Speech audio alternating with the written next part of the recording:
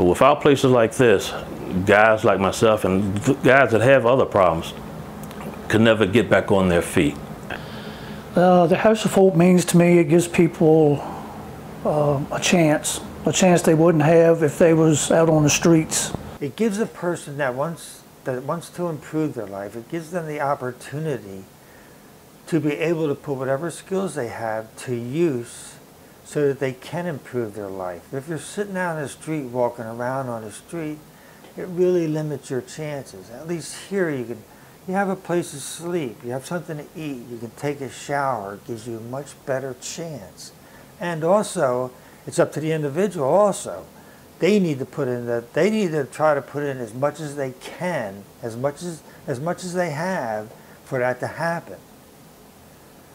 Without that help, there's no telling where I would be. I would probably be out in the street, uh, uh sleeping in a sleeping bag. I, I'd probably even be dead as cold as it's been. Um, I didn't have any place to go when I come here. I mean, I had no family that would take me in, and uh, they, they, they took me in with open arms and, and treated me with kindness. And I think it's something that every person should want to be able to help each other. That's what Jesus told us, help one another. That is the first rule, to help one another.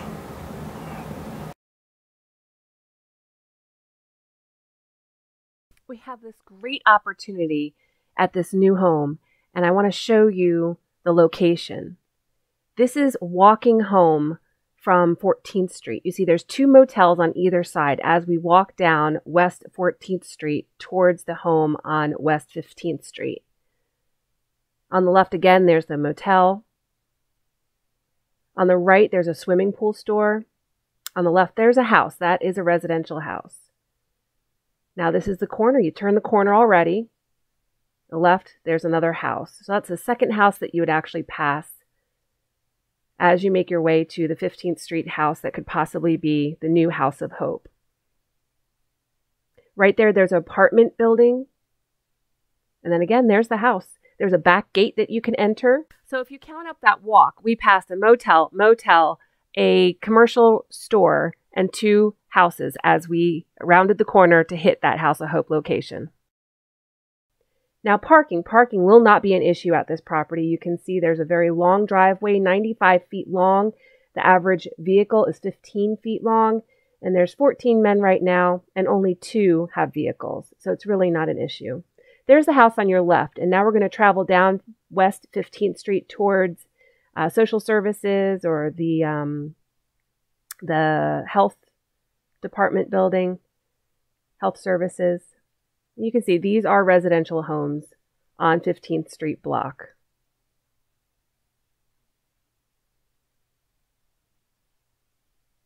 And then there you are off to the right hand side, the health and human services.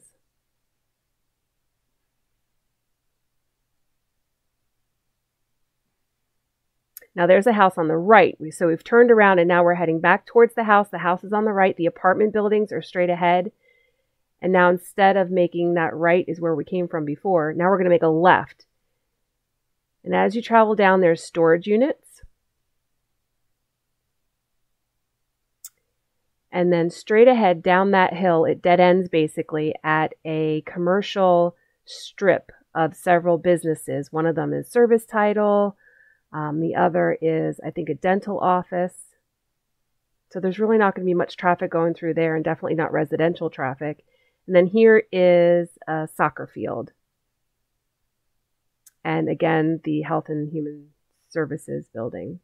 Now let's take a minute to compare the two houses. Currently, the kitchen does not have an oven, it does not have a cooktop, and it does not have a sink in it. The bedrooms now, two bunks in 11 by 11 space and in the new house, it's normal bedrooms, really beautiful bedrooms. The bathrooms, oh my goodness.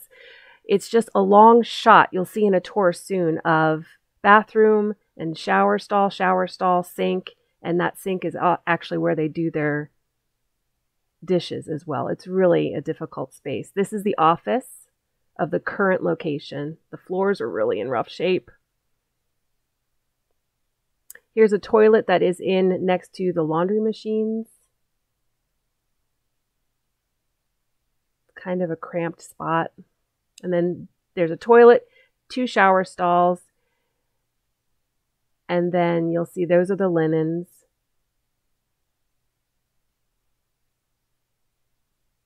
And then the sink is where they do their dishes also. I want to point out when we look back this way, there is only a shower curtain that separates the toilet from the shower stalls. The walls don't go up to the ceiling, so you hear a lot of sounds.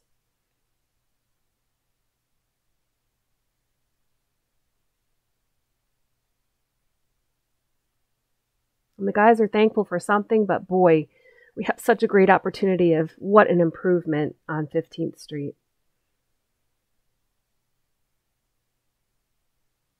Another shot of the bedroom. And then this is the only storage closet that they have.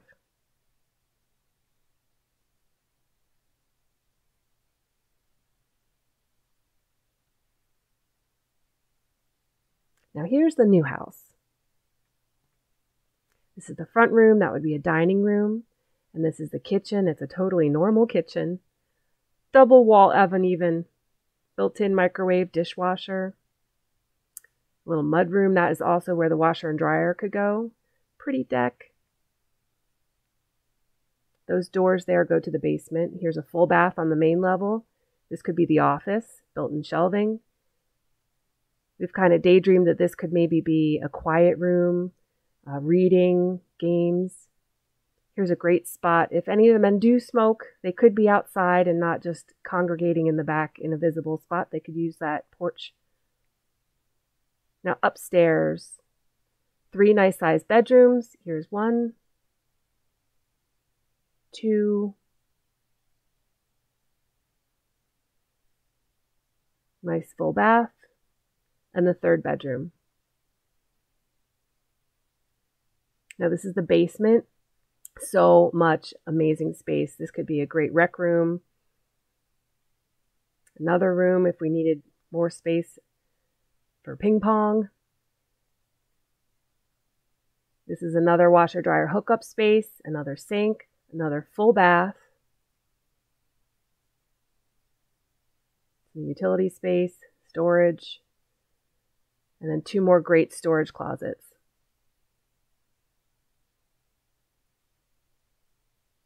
Thank you for taking these tours and taking the time. Typical day here at the House of Hope, you get up um, and you get ready for work and you go to work, you come back here around about 4 o'clock if that's when you get off from work and then you start doing your chores. You either do chores in the morning or chores in the evening. Go outside, clean up the uh, front yard, the backyard, clean up the bathrooms in here, make sure everything is copacetic.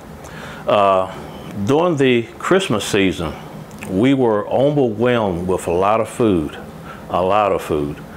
So my good nature, I just said, you know, I don't want this food to go to waste, so let's just give some to the neighbors. And so we shared this food with all the neighbors in the area as much as we can. Like I said, we was the end of the day, we didn't have no place to put it, but I didn't want it going bad and I didn't want to spoil it. So I said, let me just give it away. I'm still giving away food. Even now, we're still getting a lot of food. So it feels good to give back to people, even though I'm in a position here where people don't expect me to give, but I'm gonna give anyway.